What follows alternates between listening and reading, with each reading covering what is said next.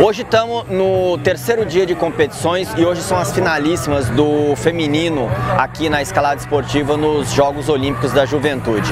Já começou as provas lá atrás, que são as provas de velocidade. Como são somente seis atletas, as provas de velocidade vão ser bem rápidas hoje e para promover maior descanso dos atletas, eles aumentaram os horários de intervalo que vão acontecer entre as provas, para permitir uma recuperação muscular mais efetiva dos atletas. É, infelizmente, a prata da casa Valentina Aguado não conseguiu classificar para entre as finalistas, assim como a outra sul-americana, a Alejandra Contreras. Então, a gente vai acompanhar aqui já mais de perto, tanto no boulder quanto na dificuldade. Estuvo buenísimo competir en los primeros Juegos Olímpicos de la Juventud, donde la escalada está incluida. La verdad que ver el deporte que amo dentro de un Juego Olímpico es algo, es un sueño para mí, creo que fue una sorpresa para todos cuando eh, finalmente la escalada fue conocida como disciplina olímpica.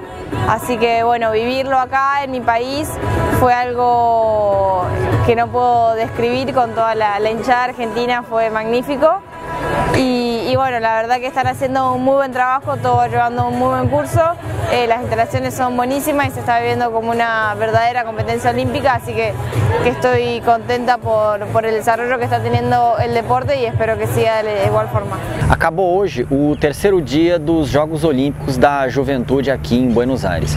O dia começou bem legal, teve a primeira prova que foi de velocidade, foi o primeiro problema que aconteceu nos jogos. Teve um problema no cronômetro e acabou atrasando quase que meia hora do, do, da prova. Só que como eram somente seis pessoas, a prova foi bastante rápida porque cada escaladora sobe mais ou menos em 10 segundos. Então durou quase que 15, durou mais a prova do que o atraso que ela sofreu por conta do contratempo de equipamento que acabou não funcionando. A prova continuou no período da tarde com o boulder e aí foi bastante interessante ver o tipo de linha que os root setters seguiram. Visivelmente as linhas estavam um pouco mais fáceis do que as classificatórias praticamente as quatro primeiras colocadas no boulder fez top e várias conseguiram avistar maioria das linhas de boulder.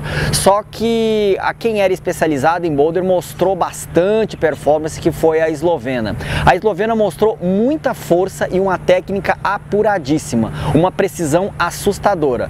Logo atrás dela foi a japonesa Mao Nakamura. A japonesa teve um desenvolvimento muito bom, só que ela infelizmente teve que fazer seis tentativas em uma linha de boulder. Os outros, todos ela é, mandou à vista.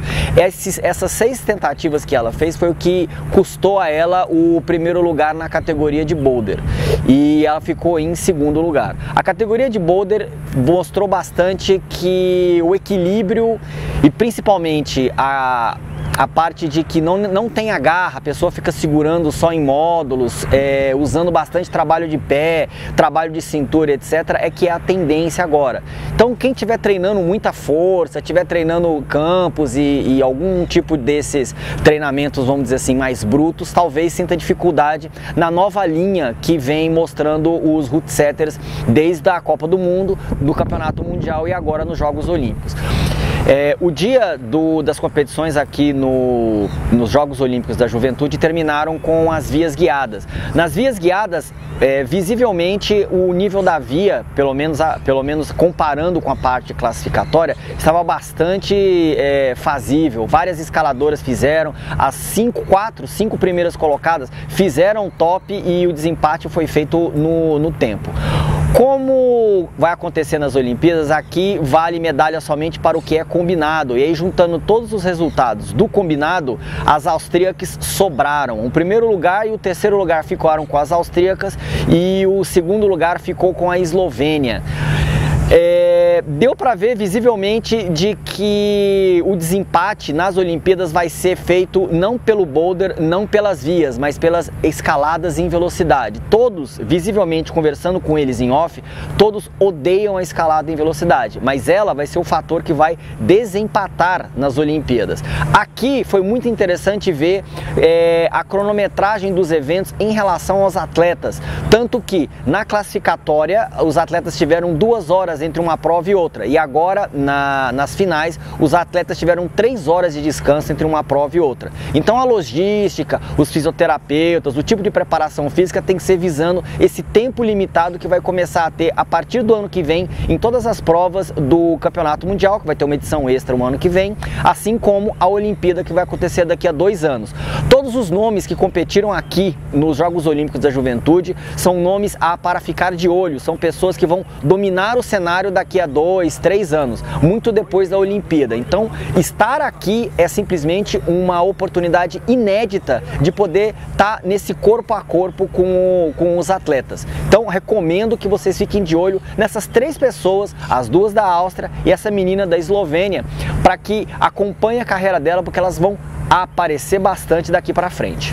Se você está gostando dos vídeos, não deixe de assinar o canal, dá like aqui no vídeo e não deixe de nos acompanhar nas redes sociais, tanto no Twitter, quanto no Instagram, quanto no Facebook. E não esqueça, aqui é blog de escalada nas Olimpíadas.